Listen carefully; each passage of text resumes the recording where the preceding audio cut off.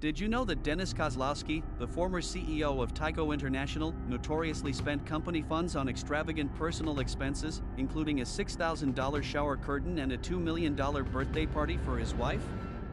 His lavish spending was emblematic of the corporate excesses that led to Tyco's downfall.